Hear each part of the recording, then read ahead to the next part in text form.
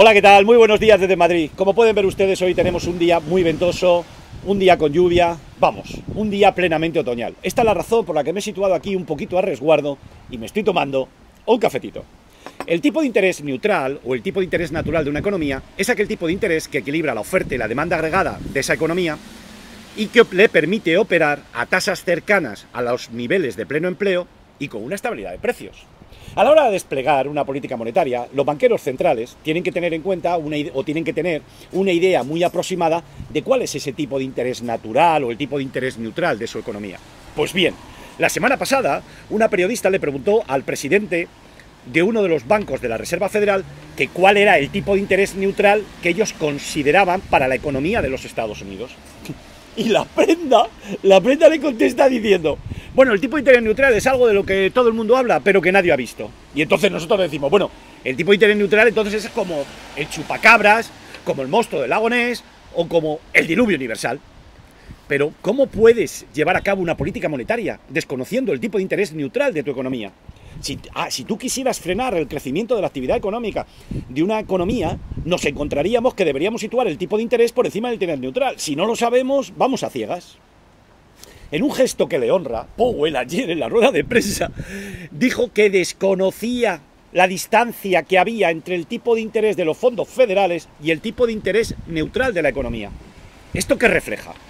Bueno, esto lo que refleja es que van a ciegas. Y llama la atención que vayan a ciegas cuando el sistema de la Reserva Federal es la institución que tiene más doctorados en economía del mundo. Madre mía, cómo llueve que tiene más doctorados en economía del mundo.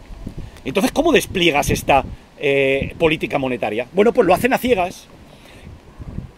Nos estamos encontrando que ellos están tomando como referencia el mercado laboral, pero el mercado laboral es un indicador retrasado de la marcha de la economía.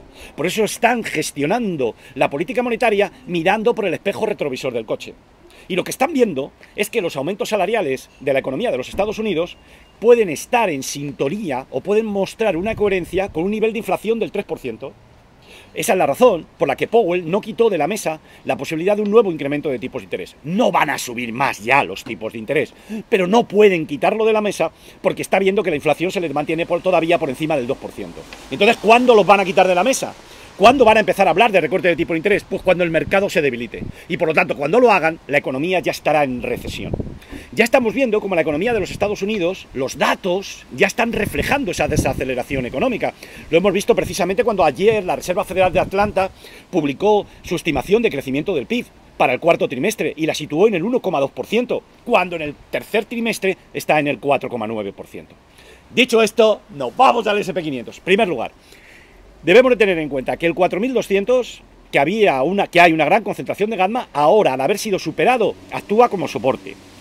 Nos hemos encontrado que al haber superado el SP500 el 4225, nosotros en Mosacaba, con nuestro sistema de especulación, tenemos ahora una predisposición un poquito más alcista para el SP500. Creemos que va a subir todavía un poquito más. Y la gamma sigue siendo negativa. Lo que creemos que es que en este entorno la gamma negativa va a favorecer nuevas subidas del SP500. ¿Cuál es la estrategia de especulación que vamos a llevar nosotros a cabo? Bueno, después de estas fuertes subidas de estos tres últimos días, vamos a considerar como escenario más probable que el SP500 hoy corrija. ¿De acuerdo? ¿En qué nivel nos vamos a fijar? En la zona 4195-4205, en torno al 4200. Pues bien, en tanto en cuanto el SP500 se mantenga por encima de 4.195, nosotros en Bolsa Cava, con nuestro dinero, con nuestro sistema de especulación, vamos a aprovechar el retroceso y el giro posterior para comprar.